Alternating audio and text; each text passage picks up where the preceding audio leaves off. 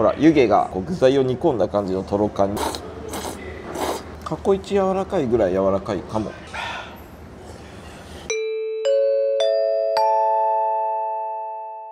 さあ行くぞ！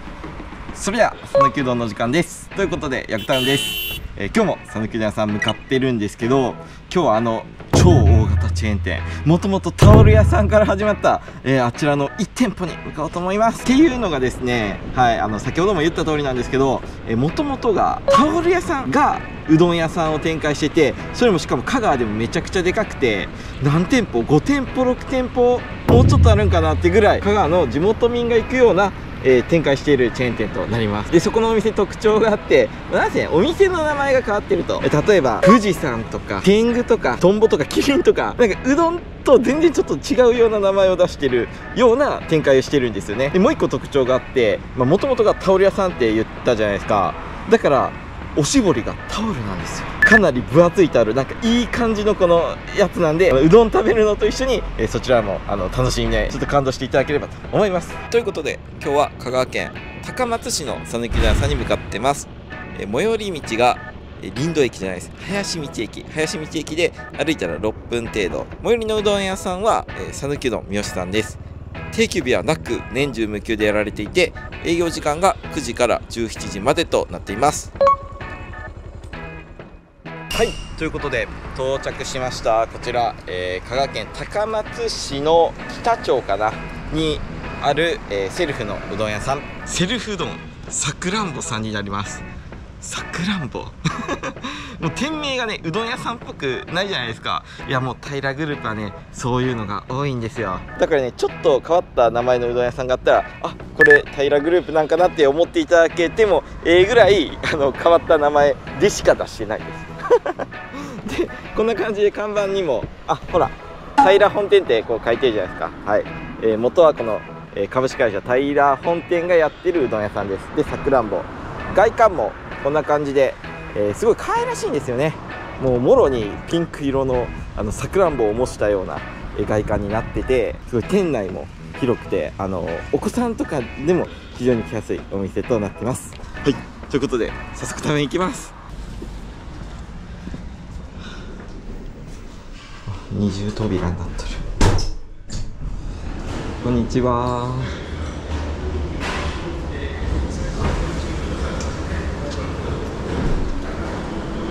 あちなみにこちら、えーセルフ店です。多分平さんのお店は全部セルフ店だと思います。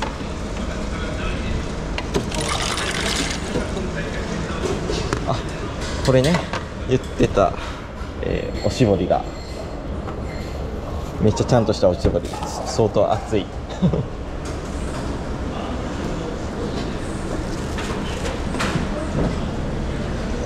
うしようかななんか天ぷらもね子供が好きそうなのが多いですよね。カニクリームコロッケにしようかな。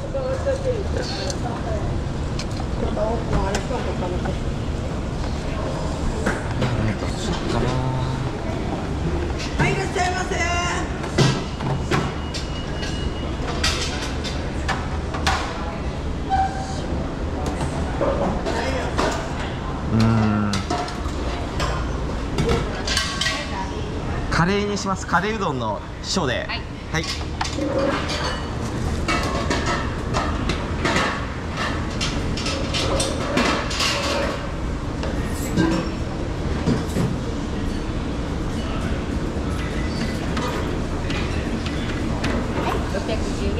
よっしゃ。あかけとか頼んだ場合はこう湯煎とかだしはセルフですね。はい。ありがとうございます。カレーうどん薬味はセルフで入れましょう。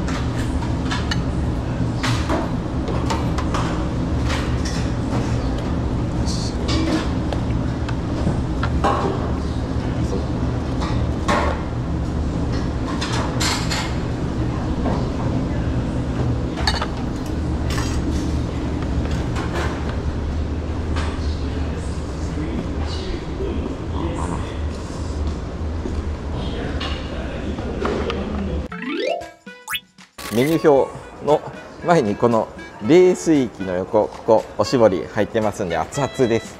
はい、お一人様1個取っていいんでまずこれが特徴なのとで、えーメニュー表がこんな感じでずらっと並んでます、まあ、うどんからあと丼からあの昔ながらの中華そばこれがね僕めっちゃ好きなんですよね。これすごいさっぱりして美味しいです。に、えー肉そばおそば系も揃ってます。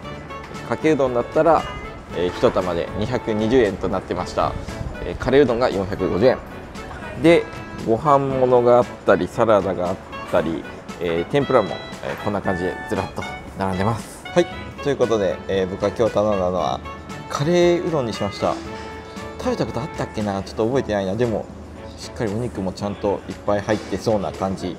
なのと、えー多分カニクリームコロッケ。こういうねなんか子供が好きそうなのもあの多いんですよね。とこれほかほかなんですよ。あの熱々なおしぼり。これあの平さんがタオルのリース会社やったかな？忘れたな。あそうそうそう。確か元が太陽っていう名前のおしぼり屋さんやったような気がします。はい詳しくあの 調べてください。はいということでいただきます。それじゃあいただきます。まずはねおしぼりですよね。っていうかうどん屋さんでおしぼりっていうのがそもそもかなり珍しいような気もします。ホクホクです。ほら湯気が見えとるかな？湯気見えますか？熱っ。っていうなんかセルフうどん屋さんでうどんもかけが確か220円かな？で安いのにこのあのもてなし感というかこれがいいんですよね。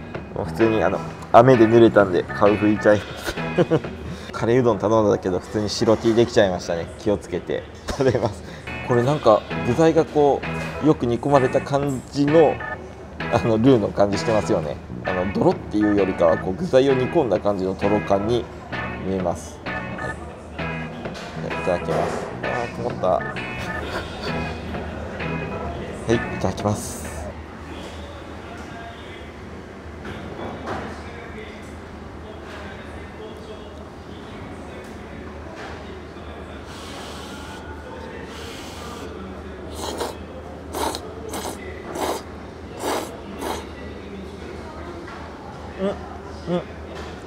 あのまず麺はめっちゃ柔らかめ。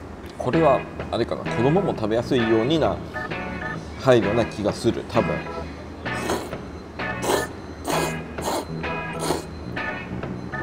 うんうんうん。なんかこれはこれでうんこれはこれでっていう感じやな。本当にめちゃくちゃ柔らかい。過去一柔らかいぐらい柔らかいかも。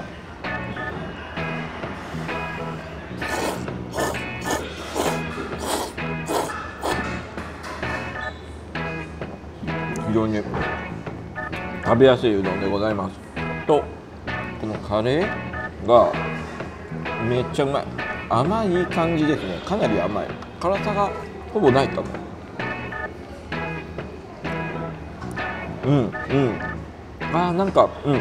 ちょっと甘い感じが僕すごい好きなんであのカレー非常に甘くて、まあ、本当に多分なんかお子さんに向けて誰でも食べやすいようなうどんを提供っていうのでやっとるような感じがなんかうどんから伝わってくるっていうイメージですかね。多分。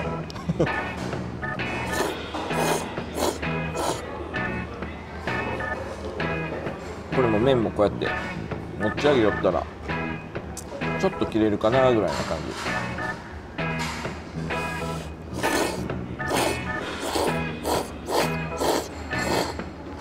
うん。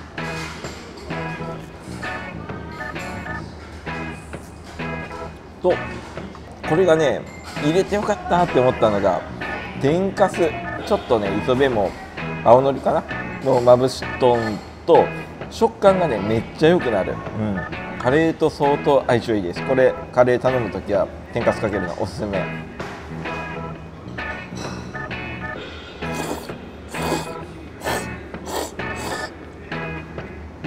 うん。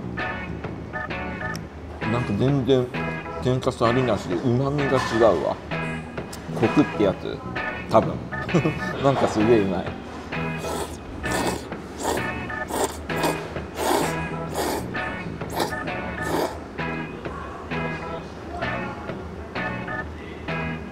こんなして玉ねぎも入ってます。で卓上にソースと醤油かな、まあ、ここら辺でちょろっと味変してやるのも面白いんじゃないかなと。元が甘い分甘いのがそんなにっていう人はこんな感じ。ちなみに僕は今両方かけたんですけどあの醤油派です。カレーは醤油派。こっちが醤油。混ざりそう。うん。醤油ね。めっちゃ和風になる。醤油大好きですね。でも一般的には多分ソース派の方が多いんじゃないですかね。こっちがこっちがこっちがこっちがソースうんうん。どっちもうまい。混ぜる。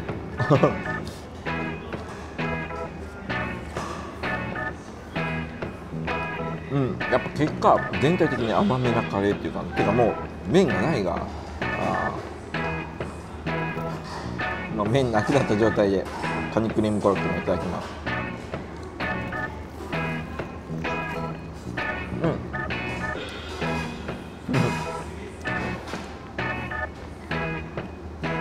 サクサク。まあカレーと合わないわけがない。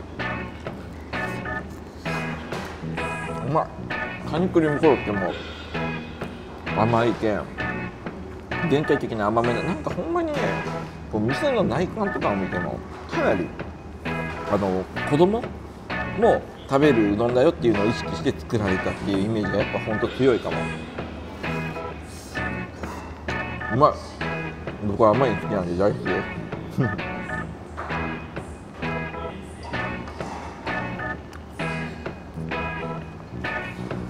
甘いも好きやし辛いも好き。どっちかに極端に割り振っとんが僕は好きです。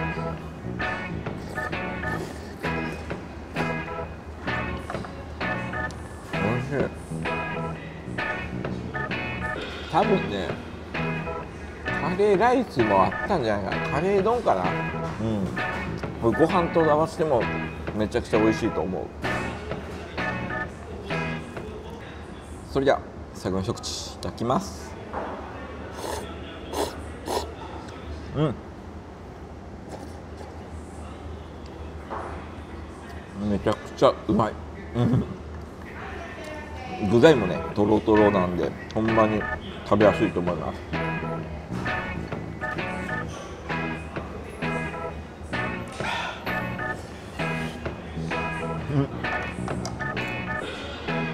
はい、ということでごちそうさまでした。ごちそうさまでした。美味しかったです。ということで今日食べに来てたのは香川県高松市にあるセルフうさくらんぼさんになります。もう店の外観はもうほんまこんな感じ。もう分かりやすいんですよね。はい。さくらんぼっていう店名ですけどえさくらんぼ屋さんじゃなくうどん屋さんです。で駐車場がこんな感じです。これもかなり広く取られてて非常に入りやすい感じのお店かなと思います。店内はこんな感じになってます。かなり広々としてて、まあ、広いテーブル席にカウンター席があ壁際か。ここはカウンター席ですね。にテーブル席たくさんあるんとこっちあのお子さんでもほんまに広々と食べれるようなこうお子さん用の椅子もあったりあとこの絵柄もそうですよね、はい、っていうようなあのすごい明るいお店となっております家族で来やすいお店ですはいということで、えー、桜野さんいただいてきましたいやーこれねほんまにあのお子さん超おすすめかもっていうのが多分ね僕の記憶でも過去一ぐらいに麺がね柔らかかったんですよね。まあこれはでも、まあ、日によってコンディションが変わるかもしれないし僕がカレーうどん頼んでちょっと撮影とかであのどうしてもちょっと時間かかるんで、えーそういうところで柔らかくなってた可能性はあるんですけどにしてもあのすごい食べやすいうどんプラスあのカレーがねもうもう甘いんですよ。はい。とあとこの具材が溶け込んだ感じの甘さもあるんでで僕はねほんまになんか醤油とかソースとかを混ぜて食うのがすげえうまかった。ああコク？ちょっとよくわかんないけどあの天かす混ぜるのもすごい美味しかったしカレーうどんめちゃくちゃ美味しいです。あのカレーライスにしてもカレー丼っていうのもあったんであのそちらで注文するのも非常にいいかなと思います、はい、ということで、えー今日は、えー、平グループの1店舗、え、さくらんぼさんの方に来てました。他にもいっぱい店舗あるんで、えー気になる方最寄りのとこ行ってみてください、えーということで今日の動画もしよければ高評価そしてチャンネル登録もどうぞよろしくお願いいたします、えー最後までご視聴いただきどうも。ありがとうございました。雨なんだよな。雨。移動がしんどいんだよな今日は。 One, two, three。